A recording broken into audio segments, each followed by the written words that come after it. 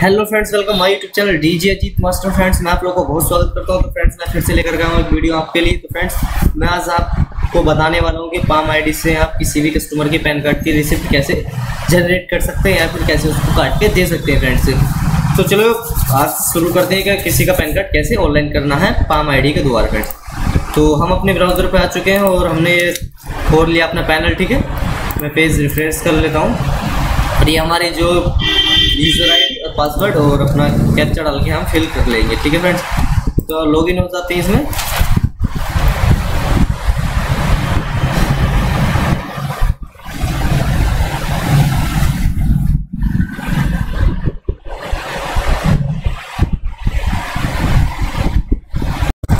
हाँ तो फ्रेंड्स खुलने के बाद में हमारे सामने ऐसा इंटरफेस आ जाता तो सबसे पहले क्या क्लिक करेंगे? यहाँ एक्सेप्शन से और उनचास से फॉर्म फिल करेंगे, ठीक है?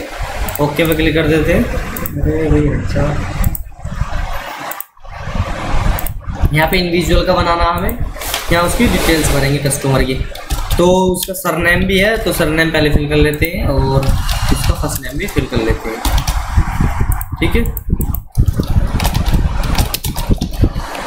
और उसके फादर नेम फिल कर लेते हैं।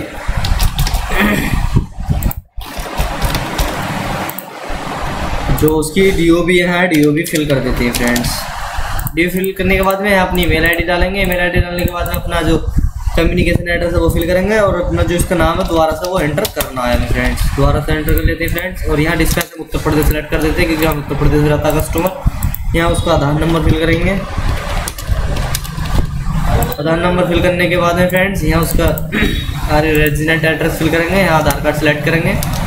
आइडेंटिटी में एड्रेस प्रूफ में आधार कार्ड डीओबी में आधार कार्ड यहाँ एलकेन कोड डालेंगे, जो अपना सिटी का एलकेन कोड आता है. ठीक है एलकेन कोड की अगर लिस्ट आपको चाहिए तो मैं डिस्क्रिप्शन बॉक्स में डाल दूँगा, आप मेरे से बता देना फ्रेंड्स ओके जैसे कमेंट्स मिलेंगे, मैं आपका लगा दूँगा वहाँ पर यहाँ अपना कस्टमर का जेंडर सेलेक्ट करना मेल फीमेल कौन है? ओके एक बार चेक कर लेना है कोई गलती से तो कुछ भरा हुआ नहीं है. क्योंकि अगर कोई कुछ यहाँ पे गलत भी भर जाता है, अगर रिसिप्ट गलत कट जाती है तो फ्रेंड्स कोई दिक्कत वाली बात नहीं है, क्योंकि हम जो उसे स्टील पैक से जब डॉक्यूमेंट्स अपलोड करेंगे तो वहाँ पे हम करेक्शन करके कर सकते हैं। स्टील पैक में आपको दिखा देता हूँ। लॉगिन करके जब हम यहाँ से लॉगिन करके डॉक्यूमेंट्स अपलोड करेंगे, यहाँ से हम वो चेंज कर सकते हैं। एक बार चेक कर लेते हैं, इसका डाटा सब कुछ प्रॉपरली सही है। या अपने डिस्पैच द्वारा से सेलेक्ट कर लेते हैं, क्योंकि आधार नंबर पर क्लिक करने के बाद में जो हट जाता है। ओके अपना डायग्राफी चेक करेंगे। अगर सही पाई जाती है तो टिक लग जाएगा। वरना अगर गलत जानकारी पाई जाती है, जो नेट पर कुछ और है, आधार कार्ड में, अगर यहाँ में कुछ और है, जो हम फ़ोटो से फिल कर रहे हैं तो मिसमैच डाटा की वजह से नहीं होगा। प्रोसीड पे क्लिक करेंगे फ्रेंड्स डाटा चेक कर लेंगे सबमिट में क्लिक करेंगे। तो फ्रेंड्स ये कटेंगे कस्टमर की स्लिप और इस स्लिप को प्रिंट करके कस्टमर को दे देना है फ्रेंड ये कस्टमर की स्लिप आ गई है ठीक है फ्रेंड्स ये उसका नाम आ गया ओके जो हमारे अकाउंट को डेबिट हुआ है सात रुपये, और हमारे यहाँ पे सेंटर का नाम आ जाता है, अजीत साइबर पे ठीक है? जो भी कुछ है एन द्वारा प्रमाणित। तो कस्टमर के प्रिंट आउट सिर्फ़ निकाल के दे देते हैं। तो कस्टमर को बाद में परेशान होना ना पड़े।